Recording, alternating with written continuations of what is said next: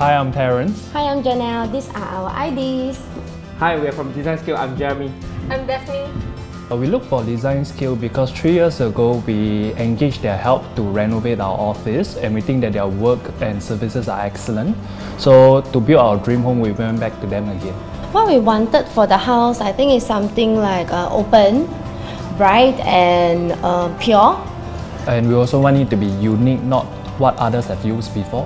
In response to uh, Terence's request, we have actually designed island counter that flows into the kitchen. And the kitchen is designed in a way to enhance uh, better user functionality and also increase the efficient workflow.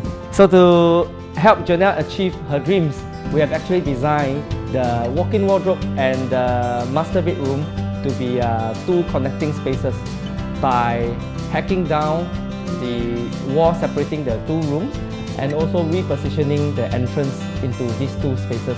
In the walk-in wardrobe, we have shelvings for the clothing as well as a dresser table with a full-length backlit mirror.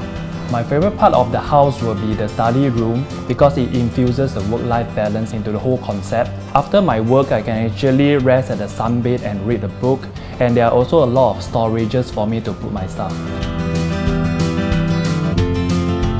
I got two favorites. One is the bedroom and one is the kitchen. For the bedroom, they designed a raised platform with a floating shelf around the room, and also they created like four different types of lights, which uh, help to change the different mood and feel.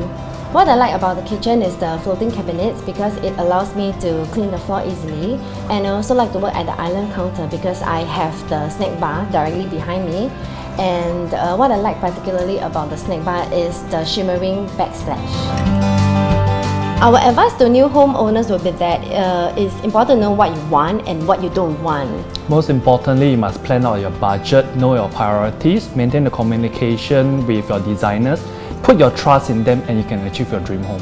We would like to thank Jeremy and Daphne for making our dream home come true. It's our pleasure. At Designscale, we think, we innovate, we create. Yeah!